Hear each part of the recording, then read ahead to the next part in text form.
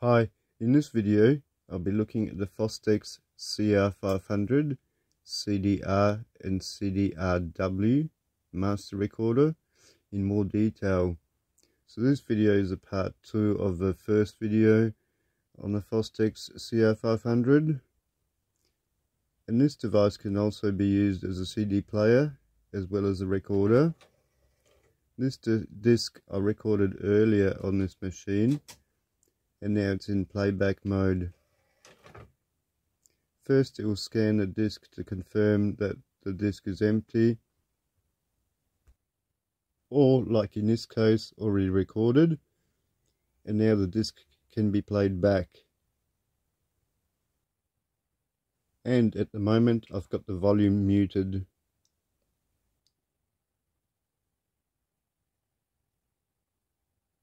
And this device can record on both CDR and CDRW discs but more about that later. But first let's have a look at it or its front panel or fascia to be precise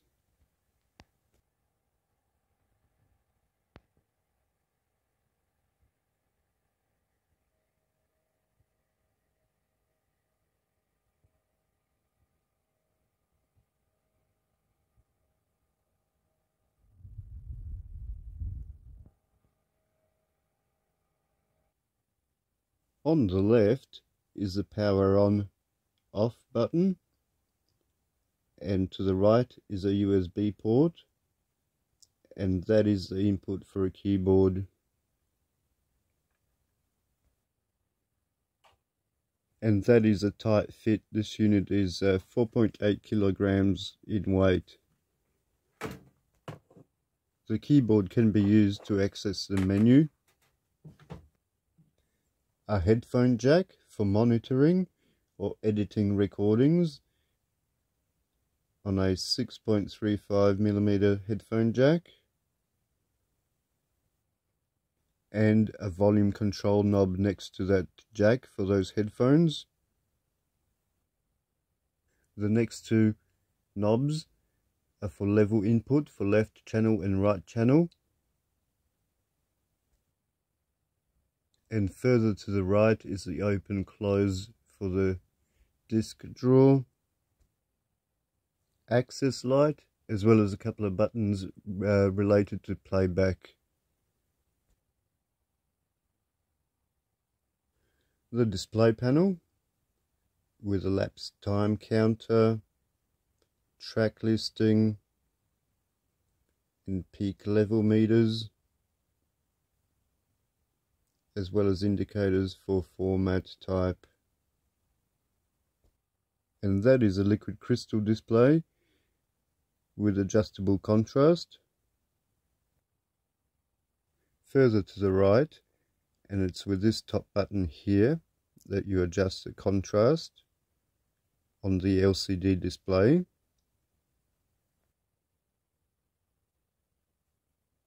Here are the stop play, rewind, fast forward, skip and search buttons, as well as the record ready button. This is a button you press to get your levels um, and everything in order. And the red button below that is a record button which actually does the recording when you press that. And this group of buttons is for memory set and editing. And all these buttons I have to say have a very precise and positive feel to them. And here are the recording format type details. You can pause on that and read that if you like. I have found that CDRWs play back fine and straight away However, CDR discs I was using didn't want to play back immediately, but we're good to play after um, some time has passed. And that was on the NAD C525B CD player that I was trying to play him back on. Who knows? But let's just say I want to record on this CDRW.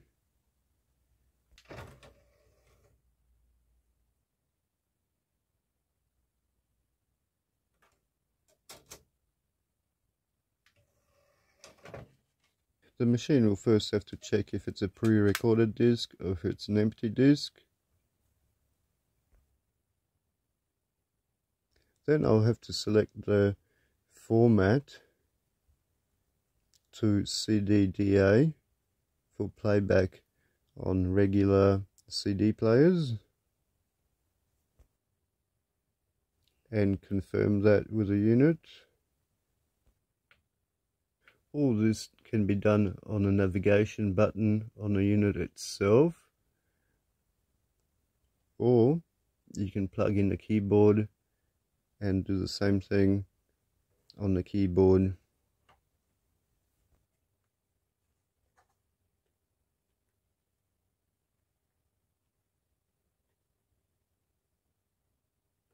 Now I'm using the keyboard for navigation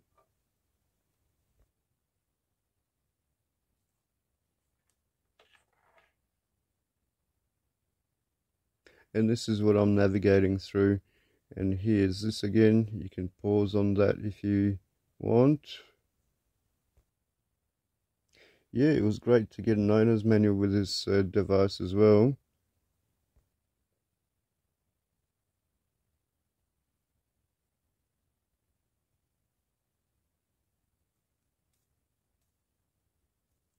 So now I'll confirm that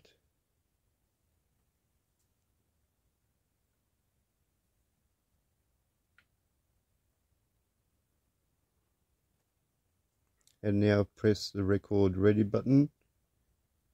I can check on the display. I am recording in the right format.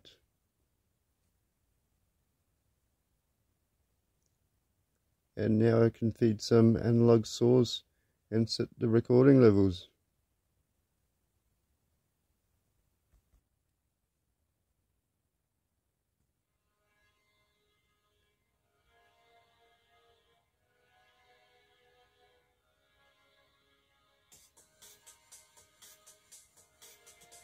and the recording level should be set at zero to the right of the scale.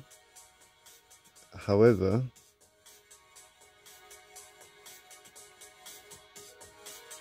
that's the best I can do.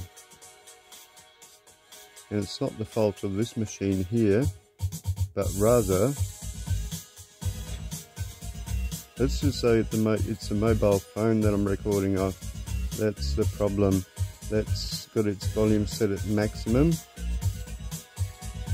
And it's just not uh, hitting zero at all.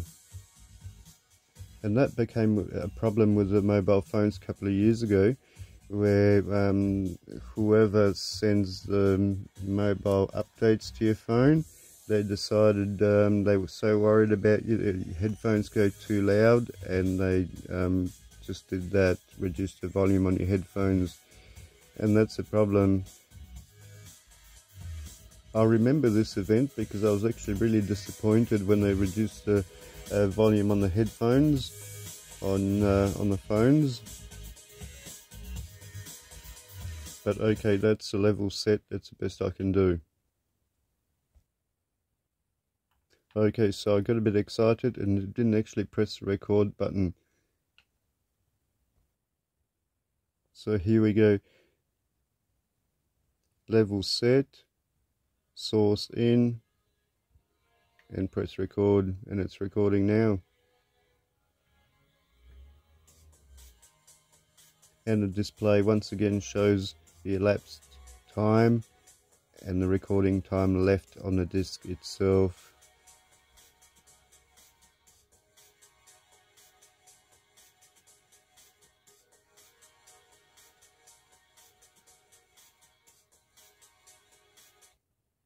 So I'm going to stop this here, rewind.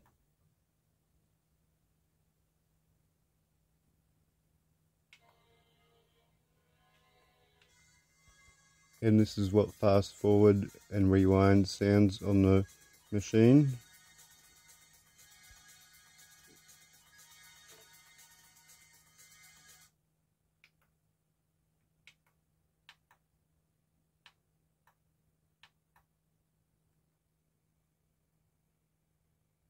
fast forward.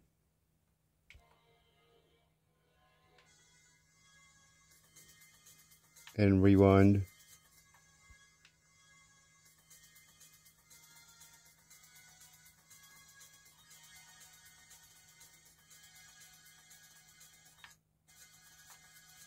So a lot different than on a regular CD player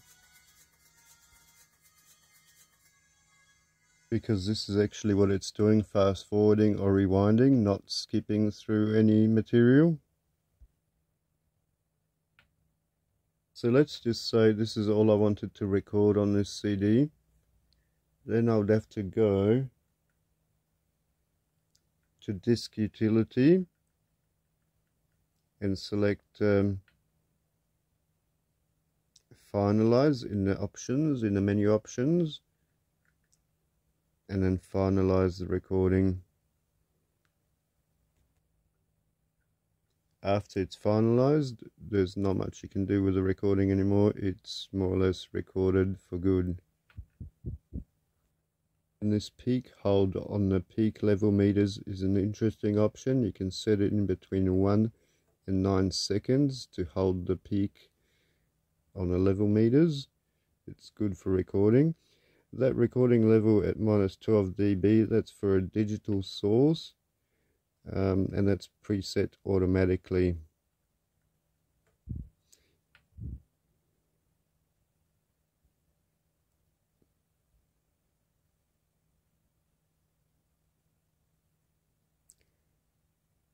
And here this is how you finalize the recording and it's asking you if you're sure if you want to do that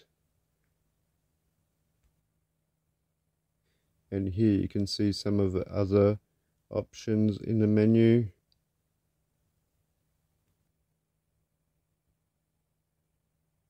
And the manual says in a CDDA format it's impossible to um, edit names.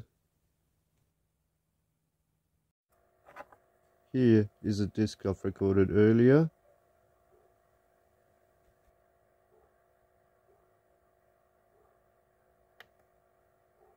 and as you can see the disk is full. And I want to finalize the recording on this disk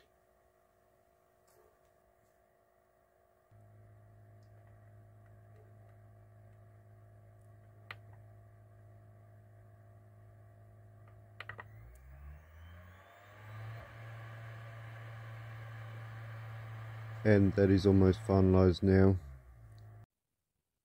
Let's have a look at the specifications of the unit. And you can pause on that if you'd like to see any of the details.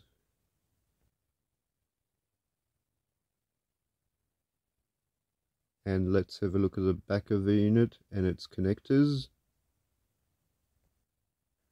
Looking at the top row of analog connectors, balanced input and output on XLR connectors and unbalanced input and output on RCA as well as digital input and output on XLR below.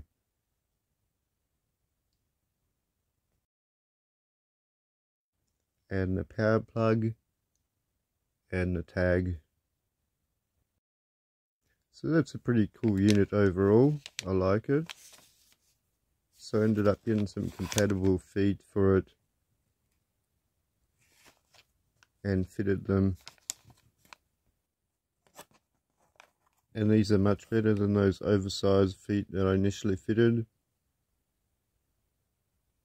Thank you for watching and see you in next or the previous video